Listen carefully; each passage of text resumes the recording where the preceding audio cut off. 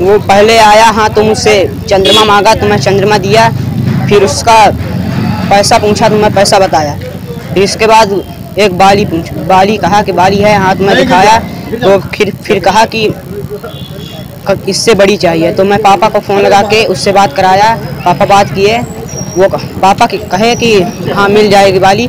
फिर वो वह ऐसे उसकी भाषा मुझे नहीं समझ में आई वैसे ही बोल रहा था कि ये दिखाओ वो दिखाओ। मैं दिखाने लगा और ऐसे ही एक डब्बा भी था सोने का वो भी दिखाया। हाँ तो वो फिर रख दिया और इसके बाद वो हाथ डाल के उसको निकाल दिया और फिर लेके भाग गया। किसको बताया? मैं? फिर पापा लगाए फ़ोन तो मैं पापा को बताया।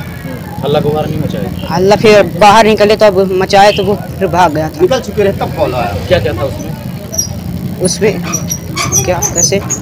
करा क्या रहा बताओ ना क्या रहा गहने एक एक डबल मंजिला का झुमका था और दो सिंगल मंजिले के झुमके थे और एक ब्रिज वाला था। तकरीबन एक बजे की घटना है। मैं दुकान में नहीं था मेरा लड़का था दुकान में और अज्ञात व्यक्ति आया एक और सामान दिखाओ काने का कुंडल बोला। काने का कुंडल दिखाया बोला हमको और बड़ा साइज़ वज़न चाहिए।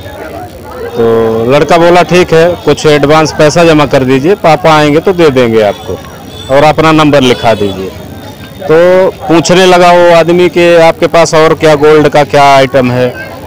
तो सोना का जो सामान हमारे पास रखा हुआ था, भारी, झुमका था, करीब चार जोड़ी, उसमें डबल और सिंगल ब्रिज वाला था एक जोड़ी, वो पूरा डिब्बा हाथ में लिया और लेके जेब में डाला और लड़के को गाली दिया हड़काया और लेके चला गया। कितने का सामान था सामान करीबन ढाई से तीन लाख के आसपास का था। ज्ञान में आया है चार बजे के लगभग फरियादी सुरेश सोनी के दुकान में चोरी की घटना हुई है जिसमें प्रथम दस्तिया अपराध पंजीबद्ध कर पता तलाश चोरों की जा रही है अभी उसकी विवेचना जारी है।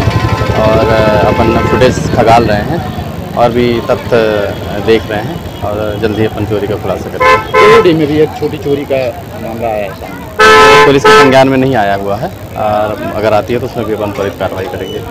क्या माना जाए पुलिस पता नहीं पुलिस अपना प्रयास कर रही है और जैसे ही पता चलेगा तो आप लोगों को खबर हो जाएगी।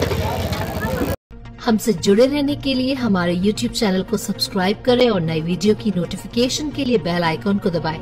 अगर आप ये वीडियो Facebook पर देख रहे हैं तो लाइक ज़रूर करें और ज़्यादा से ज़्यादा शेयर करें धन्यवाद